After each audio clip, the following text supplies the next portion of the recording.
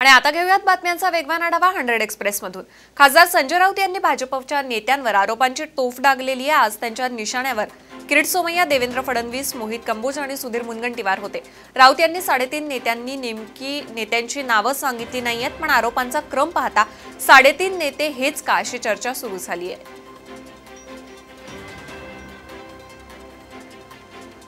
शिवसेना खासदार संजय राऊत यांनी आरोप केलेल्या वसईतील निकॉन प्रकल्पाच्या ठिकाणी साम टीव्ही पोहोचली आहे. निकॉन कंपनीचा डायरेक्टर नील सोमय्या असून ही चारशे कोटींची जमीन फक्त साडेचार कोटी रुपयांना सोमय्यांनी विकत घेतल्याचा आरोप संजय राऊतांनी केलेला आहे. शिवाय या प्रकल्पाला पर्यावरणाच्या परवानग्या नाहीत. हरित लवादानं लक्ष घातलं तर कारवाई होईल असंही राऊतांनी म्हटलंय.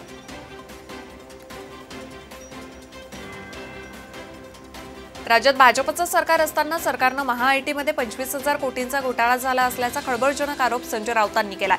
यावेळी राऊतांनी तत्कालीन मुख्यमंत्री देवेंद्र फडणवीसांवर भ्रष्टाचाराचे सर्वात मोठे आरोप केलेत. हा गंभीर आरोप करताना राऊत यांनी अमोल काळे आणि विजय डवंगाळे यांची नावं घेतली आहे. यांच्या बँक खात्यातून पैसे कुठून कुठे गेले? विना टेंडर कोणाला कंत्राट दिलं? याची तक्रार आपण करणार असल्याची घोषणाही त्यांनी केली. राऊतांच्या आरोपानंतर किरीट सोमय्या यांनी ट्विट करत पलटवार केलेला आहे. त्यांची परिस्थिती समजते. राऊतांनी आरोप केलेल्या प्रकरणांचं मी स्वागत करतो. अशा शब्दात सोमय्या यांनी राऊतांना प्रत्युत्तर दिलेलं आहे. दरम्यान ठाकरे सरकार हे घोटाळ्याचं सरकार असल्याची टीकाही त्यांनी यावेळी केली आहे. नालासोपाऱ्यात पंचेचाळीस वर्षीय इसमाची राहत्या घरात डोक्यात जड वस्तू टाकून अज्ञात हल्लेखोरांना हत्या केलेली आहे. नालासोपारा पश्चिमेच्या सोपारगाव बैतुल नसर परिसरामध्ये अल्बा अपार्टमेंटमध्ये ही घटना घडलेली आहे. अज्ञात हल्लेखोर हत्या करून पसार झालेले आहेत तर पोलीस सध्या फरार आरोपींचा शोध घेत आहेत. नागपूरमधील लकडगंज परिसरात खंडणीखोरांनी एका दुकानाची तोडफोड केलेली आहे. शस्त्र घेऊन दुकानात खंडणी मागणारे हे खंडणीखोर सीसीटीव्ही मध्ये कैद झाले. या प्रकरणी दोघांना अटक करण्यात आली असून एकाचा शोध सुरू आहे. लकडगंज परिसरातील वर्धमान नगर चौकात ही घटना घडली आहे.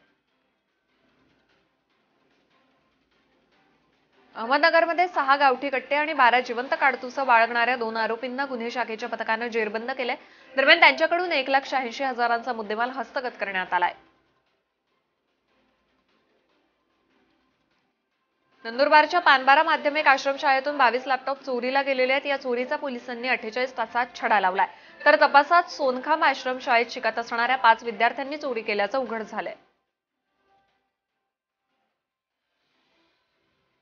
शेतजमिनीच्या वादातून निकाल विरोधात गेल्यानं एका शेतकऱ्यानं जिल्हाधिकारी कार्यालयासमोर आत्महत्येचा प्रयत्न केला अपर जिल्हाधिकारी यांनी कागदपत्रांची चौकशी न करता हा निकाल दिलेला आहे असा आरोप करत या शेतकऱ्यांना हानिकारक पेय पिऊन आत्महत्या करण्याचा प्रयत्न केलाय.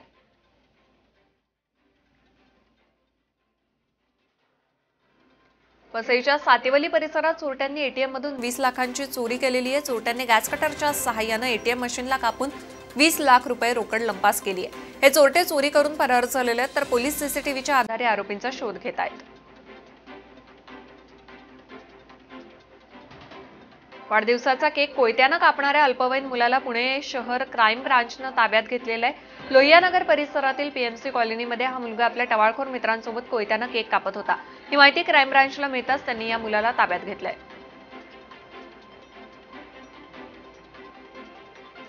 मुंबई नागपूर द्रुतगती महामार्गावर कंटेनरचा भीषण अपघात झाला या अपघातात एक गुराखी आणि दोन बैल जागेच ठार झालेत. हा अपघात एवढा भीषण होता की मृत गुराख्याला जेसीबी लावून बाहेर काढण्यात आलाय.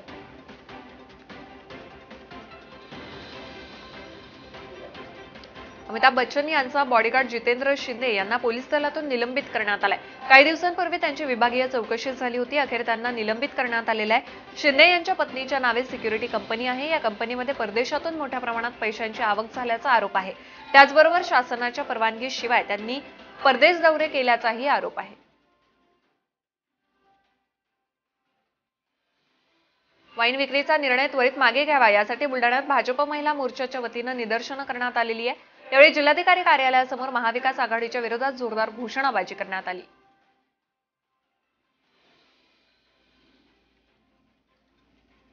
शेतकऱ्यांच्या विविध प्रश्नांवर स्वाभिमानी शेतकरी संघटनेनं कोल्हापुरात आंदोलन केलेलं आहे. कोल्हापुरातील दसरा चौक ते जिल्हाधिकारी कार्यालयापर्यंत यावेळी मोर्चा काढण्यात आला. राजू शेट्टी यांनी सरकारला इशारा दिलेला आहे शेतकऱ्यांच्या खात्यात पन्नास हजार रुपये जमा केले नाही तर अजित पवारांच्या बारामतीत कार्यालयाबाहेर आंदोलन करू असा इशारा राजू शेट्टींनी दिला आहे हरियाणातील गुरुग्राममध्ये एका टॅक्सी चालकावर हिजाब आणि बुरखा घातलेल्या महिलेनं चाकूनं हल्ला केलाय.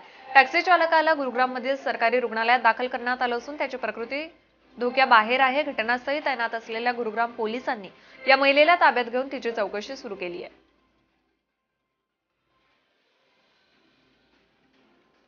आरजेडीचे नेता लालू प्रसाद यादव यांना मोठा धक्का बसलेला आहे. चारा घोटाळा प्रकरणातील एका केसमध्ये राज्याच्या सीबीआय कोर्टानं त्यांना दोषी ठरवलेलं आहे. डोरंडा ट्रे ट्रेजरीमधून अवैधरित्या पैसे काढल्याचं प्रकरण हे चारा घोटाळ्यातील सर्वात मोठं प्रकरण म्हणून ओळखलं जातं.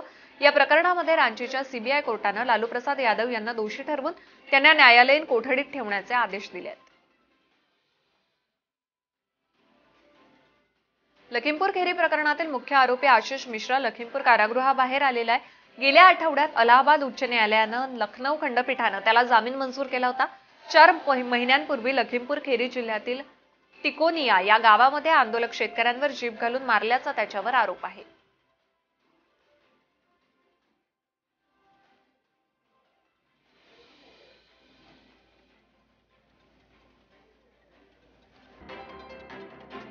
उत्तर प्रदेश निवडणुकीच्या दुसऱ्या टप्प्यातील पंचावन्न जागांवर आणि उत्तराखंड गोव्यातील सर्व जागांवर सोमवारी मतदान झालं. गोव्यात विधानसभेच्या चाळीस जागांसाठी मतदान मोठ्या प्रमाणात झालेलं आहे. युपीमध्ये संध्याकाळी सहा वाजेपर्यंत बासष्ट पूर्णांक बावीस टक्के मतदान झालं. तर उत्तराखंडमध्ये बासष्ट पूर्णांक पाच टक्के आणि गोव्यामध्ये अठ्याहत्तर टक्के मतदान झालंय. उत्तर प्रदेशात सोमवारी दुसऱ्या टप्प्यासाठी पंचावन्न जागांवर मतदान झालं असून आता तिसऱ्या टप्प्याला सुरुवात होतीये. फिरोजाबाद मैनपूर एटा कासगंज आणि हाथरस हे पाच जिल्हे या तिसऱ्या टप्प्यात येतात. यामध्ये सपाध्यक्ष अखिलेश यादव यांच्या मतदारसंघाचाही समावेश आहे. त्यामुळे अखिलेश यादव यांच्यासह अनेकांची प्रतिष्ठा पणाला लागली आहे उत्तर प्रदेशात राजकीय पक्षांनी आता पुढील पाच टप्प्यांची तयारी सुरू केलेली आहे. याच पार्श्वभूमीवर मुख्यमंत्री योगी आदित्यनाथ यांनी मंगळवारी इटावा इथं एक जाहीर सभेला संबोधित केलं. यावेळी मुख्यमंत्र्यांनी समाजवादी पक्ष आणि त्यांचे नेते अखिलेश यादव यांच्यावर जोरदार हल्ला चढवलाय. संकटाच्या वेळी हे काका पुतणे कुठं दिसतात? जेव्हा संकट येतं तेव्हा हे सैफई कुटुंब कुठेच दिसत नाही असं ते म्हणाले. पंजाब विधानसभा निवडणुकीदरम्यान पटियालामध्ये काँग्रेस नेते राहुल गांधींनी प्रचार सभेला संबोधित केलं. यावेळी त्यांनी पंतप्रधान नरेंद्र मोदी अरविंद केजरीवाल आणि सुखबीर सिंग बादल यांच्यावर निशाणा साधलाय. मी खोटी आश्वासनं देणार नाही तुम्हाला खोटी आश्वासनं ऐकायची असतील तर मोदीजी बादलजी आणि केजरीवालजींना ऐका असं राहुल यावेळी म्हणाले. उत्तर प्रदेश विधानसभा निवडणुकीच्या तिसऱ्या टप्प्यासाठी केंद्रीय गृहमंत्री अमित शहा यांनी दिबियापूर औळेरा या या ठिकाणी जाहीर सभेला संबोधित केलं यावेळी शहा यांनी योगी सरकारच्या पाच वर्षातील कामगिरीची मोजदात करत अखिलेश सरकारवर हल्लाबोल केलाय.